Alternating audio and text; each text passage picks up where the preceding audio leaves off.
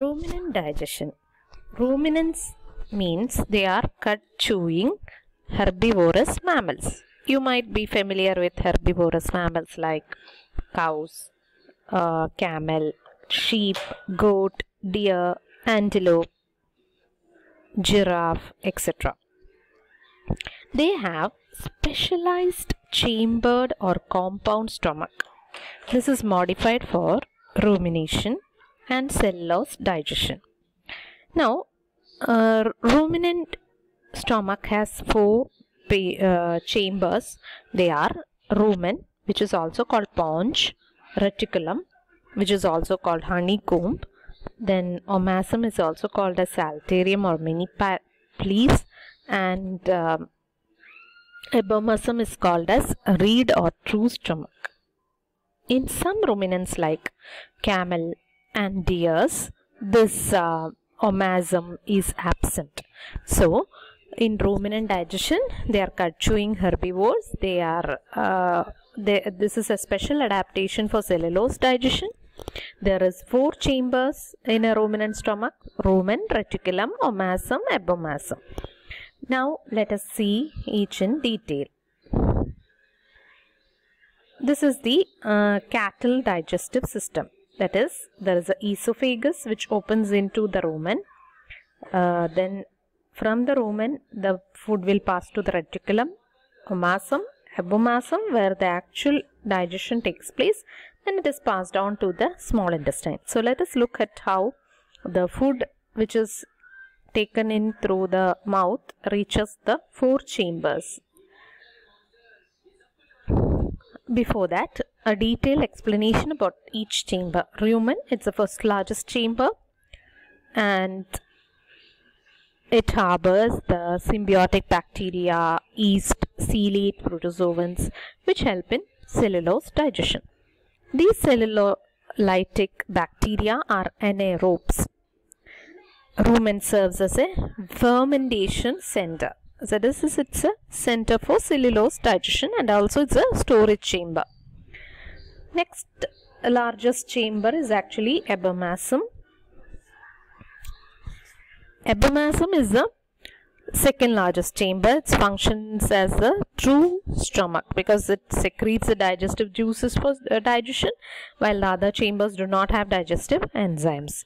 Then rest of the other chambers are called reticulum and omasum. Reticulum is a, a region where it holds uh, very sharp objects like metals, rocks. It traps a large feed particles which are not uh, So the reticulum uh, harbors the metal pieces or rocks. It can trap large feed particles that are not small enough to be digested. It facilitates the regurgitation and contains uh, some digestive bacteria. And uh, omasum is like a, uh, it has many fold and these folds help in absorption of water and sometimes it also helps in uh, absorption of some salts. Now, while feeding, uh, the cattle might feed on certain uh, metallic pieces or something. So, in order to prevent that, you can uh, attach a magnet in the feeder so that it will attract the metal pieces so that it will not be ingested by the cattle. So that's uh, that is how we can prevent such metal pieces and rocks uh, from uh, that is metal pieces from entering into the intestine of the cattle. Next is the uh, rumination. Rumination or cud chewing. It's a special adaptation for cellulose uh, digestion. Here what happens is that uh, the animal will uh, swallow fresh food and without chewing it or masticating it this di uh, partly digested food will reach the rumen okay and it will remain there for some time and heavy fermentation will be followed by the enzyme secreted by the symbiotic bacteria and protozoans. It will break down the cellulose. The fermentation products it will include certain acids like acetic acid, lactic acid, butyric acid and this will be absorbed directly and utilized by the animal for energy. Most of the carbon dioxide and uh, methane that is formed during fermentation will escape by belching or eructation through the mouth. So, um, that is how uh, the first uh, process in rumination begins and continued uh, continuation of the fermentation causes accumulation of the organic acids in the stomach. This will alter the pH and fluid content of the stomach and will affect the activities of the bacteria. So in order to uh, avoid such a situation, the animal will secrete lots of um, uh, that is uh, um, uh, enormous amounts of uh, bicarbonate rich saliva which will serve as a buffering system. Okay. And this uh, rapid absorption of fatty acids will will prevent their excessive accumulation the saliva of ruminants a little more is a little more than alkaline. Then uh, and it serves as a buffer and also as a fermentation medium for microorganism. Now uh, so once again i'll repeat uh, rumination is a process of cellulose digestion. Uh, freshly uh, that is fresh food when it passes into the mouth it will not be chewed it will be swallowed and will enter the rumen. In the rumen, the fermentation begins. It's a very large chamber. It, will, it is enclosing the symbiotic bacteria. So there will be fermentation. Uh, it will start fermenting the uh, food uh, with the help of the enzyme uh, that is enzymes produced by the bacteria and in this process there will be a lot of acids formed which will be utilized by the uh, cow or the sheep or the cattle uh, for its energy metabol that is metabolism or for the so as a source of energy. The carbon dioxide and uh, methane will be released through their mouth as belching okay so this is how uh, the fermentation starts. Now as the fermentation proceeds there'll be you can uh, imagine that what happens in fermentation. More there will be more accumulation of organic acids right? And when organic acids accumulate in the stomach its pH and fluid content will vary right? So in order to that pH content if it varies it will be harmful for the symbiotic bacteria. So in order to avoid that the organism or the animal will uh, produce a lot of saliva which is bicarbonate rich so bicarbonate and acid. So that will help in maintaining a particular pH that will be suitable for the uh, symbiotic bacteria. So this will, this saliva which contains uh, dilute solution of sodium bicarbonate will help as a buffer and that will help as a medium for the microorganism. Now what happens is that in the rumen you have the partly digested food. Now it should move to next chamber that is reticulum. In reticulum they will get rolled as a, as balls. That balls are called as cud.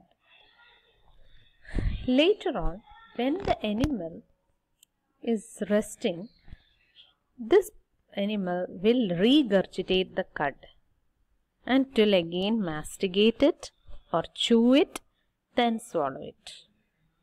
This process is called as rumination.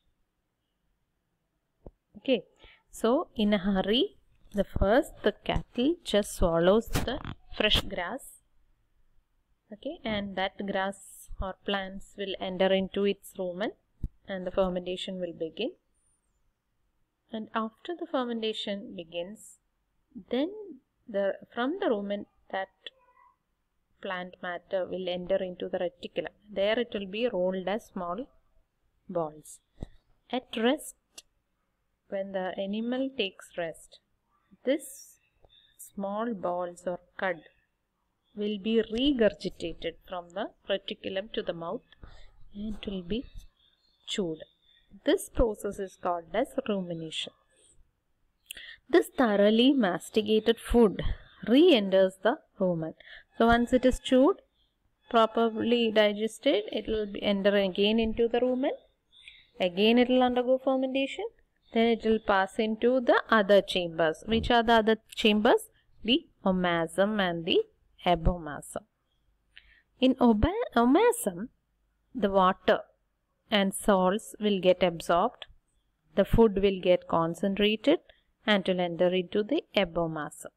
In abomasum, the true digestion occurs with the help of digestive enzymes because digestive enzymes are essential for gastric digestion. The symbiotic bacteria or microorganisms which inhabit the rumen of the cattle or sheep are obligate anaerobes. They can meet their energy requirement only with the help of fermentation. Fermentation yields only small amounts of energy for these organisms. But at the same time, the host animal gets plenty, plenty of fermentation products for their metabolism. Now coming to the significance of ruminant digestion. Ruminant digestion is nutritionally advantageous to the animal in several ways like the microbial fermentation in rumen enables cellulose digestion and provides the animal enough raw material for oxidative metabolism. Okay, so this uh, rumination is very helpful in cellulose digestion and will help in giving raw material for the metabolism. Second point is that the symbiotic bacteria uh, microorganism in the rumen will synthesize protein and essential amino acids from the inorganic nitrogen compounds such as ammonium salt and make them available to the host plant. So the host plant will get protein and essential amino acids from these microorganisms. This will be very advantageous because if the animal is feeding on very low grade feed, it is getting all the essential nutrients from this symbiotic bacteria.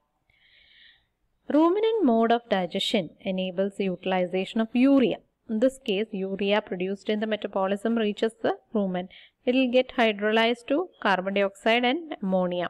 This ammonia is utilized for the synthesis of protein. Okay. So this helps in the proper utilization of urea to synthesize protein.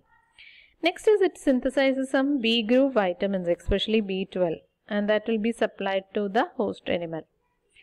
Further, Rumination slows down the passage of food through the fermentation chamber and ensures the digestion of cellulose and enables a thorough mixing of food with enzyme. Now adding a point here, digestive uh, fermentation is not exclusively restricted to ruminant mammals. A similar fermentation is present in non-ruminant mammals also. For example, gastric fermentation occurs in the cardiac stomach of the hippopotamus in the elongated stomach of kangaroos, the cecal fermentation occurs in rabbits. Okay, as a process physiologically related to rumination is another uh, uh type of uh, cellulo cellulose digestion adaptation is uh, coprophagy. You might be familiar with the term coprophagy or refection. This is called fecal feeding. That is coprophagy literally means cop that is feeding on the feces. So uh, the rabbits and all they will ingest food they'll undergo they'll pass through all the uh, stomach intestine it will be passed out as uh, the partly digested food or it will be a very moist feces that is that they pass out during the early morning this will be ingested again re-ingested and again undergo elaborate gastric and intestinal digestion then it will be passed out as very dry feces. So the moist feces that they first release in the morning will be ingested again by these rabbits and will be again undergoing uh, digestion. This type of uh, cellulose digestion is called coprophagy which is very common in rabbits then it is also seen in some rodents.